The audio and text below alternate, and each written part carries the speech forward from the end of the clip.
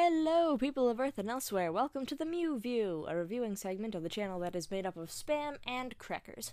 This time around, the view is of Yu Yu Hakusho, that is, a 90s anime adaptation of a popular manga at the time, which took me a bit by surprise when I finally got around to watching it. Now, here's how it all went down. To be honest, I can't really say why it was I decided to watch this one. I guess it was just looking for an anime to occupy me between Fridays, and the show in question happened to have been on my queue to watch list for a while. It was old, it was long, and quite frankly, I was expecting a repeat of my experience of when I tried to watch Inuyasha a few years ago. But I had to start at some point, so on April 11th of 2016, I began my descent. Nine days and 112 episodes later, I was having a serious anime hangover and trying to balance it out by drawing fan art. We all see where that went. Man, I loved this show.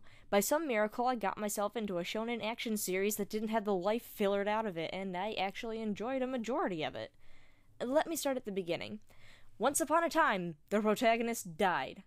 Guys, that's no spoiler, that's how the show starts. Seriously, meet Yusuke Urameshi, the ghost he was hit by a car. But back on point, I don't ever recall reading a description of the series, so this caught my attention, which is 93% of the time a good thing. So I continued to watch. The show introduced me to characters I knew more by reputation than the actual series, but that was okay because I progressively became attached to the main cast, which, again, as a whole, does not happen very easily. Couple this with a dub that was substantially impressive for its time, and I never wanted to look away from the screen. The dialogue was witty and hilarious to the point where I might just have to make a list of the most quotable animes I know just so that I can put this at the top. For all it's worth, I can't call it entirely original, but I mean, how original can you get when shonen action and fighting are in your genre list? But I digress. The series consists of four seasons of varying length. The first 25 episodes is the first season, and it does the whole here's the cast, here are the first few arcs so that you know we can get the ball rolling well enough done. And then it jumps into the second season, which is the longest, and Yu Yu Hakusho takes on the tournament style trope, which happens in a lot of shonen action series as well. Again, not unique, but the setup was refreshing when everyone was grouped into teams and they did team battles, and all the matches were kind of set up a little bit differently. So it was almost kind of like Pokemon battles, was the way I was looking at it. No two rounds were exactly the same, and it was really quite entertaining to watch. Uh, not just entertaining, I'd say it's more like fan flipping tastic. If it has anything to show for it, it's that these fights know how to flip their fans. That's not funny. At this point, I was getting nowhere with who I could call my favorite character. Yusuke sets a pretty interesting standard for shonen action heroes. Kurama is just cool to have around all the time, and getting inside of his head is always fun, but I found myself enjoying Hiei's fights the most. And then there was always Kuwabara, who is pretty much as lovable as the idiot friend character can get, who is also a decent fighter in his own right. By the end of the second season, I was in love with this show so much, and the pacing was pretty much perfect. But then we went into my sore spot, which is the third season, alternatively known as the Chapter Black arc. Now, I was pretty go- good about the whole concept of the new spirit powers and stand users, I mean, territories when they were introduced. Okay, I'm not gonna act like I wasn't comparing these this style of fighting to the things that happen in JoJo's Bizarre Adventure, but that was the least of my problems with the season. I mean, the whole series took a really dark and dreary turn, and it kind of went that way at the end of the last season, but it just got really, really heavy by the time we got into this arc. The whole Chapter Black thing just compounded on top of that. Now, a series getting a little bit darker going into a third season, especially a series of this length, isn't necessarily a bad thing. Quite the contrary, when you want to try and hold an audience's attention, a little bit of a switch up is generally a good thing. But I am just personally at odds with the motivations of the villain Sensui and so many other things that happened in this arc that I just really did not enjoy it. And by the time we got around to the wrap up, we were getting into this really typical, somewhat stereotype, boring, drawn out shonen action fighting finale.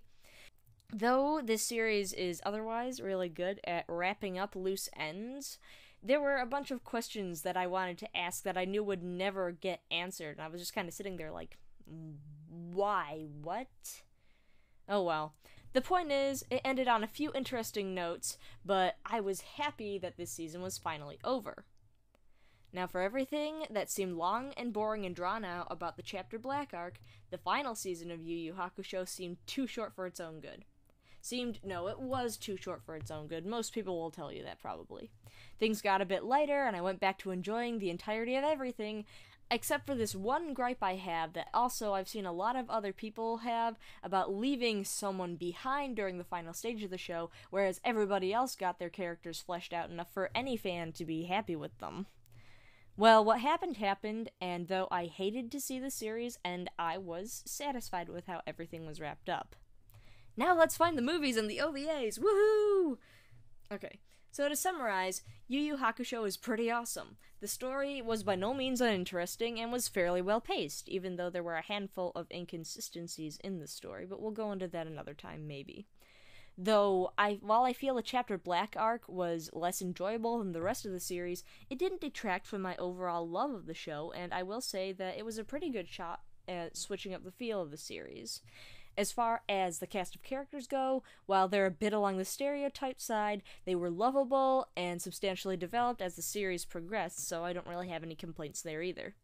The animation and the dub of the series are also impressive given the time period, and now I have to say they're fighting for the top spot in my list of favorite 90s anime. As far as recommendations go, I can say that Yu Yu Hakusho should be on the watch list of everyone's 90s anime.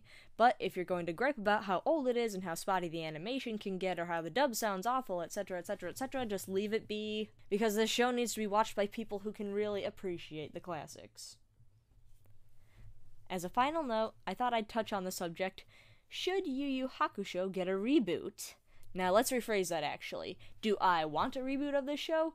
Heck yeah! Its little brother series, Hunter X Hunter, got one, and I'd love an excuse to watch this series again and see what it would look like with today's tech behind it. But is a newer version absolutely necessary? In my opinion, no. Absolutely not. I feel like Yu Yu Hakusho has it good where it is. The anime makes good on the manga, even though it deviates in a couple areas, and I might go as far as to say that it's even better than the original source material. There's really no telling what a reboot would be like, especially if they go Sailor Moon Crystal style and reimagine things for a new generation of anime fans. There are a lot of unpredictable factors of making a reboot or anything like that, and I get the feeling that it just wouldn't be quite what I would hope for and dream of.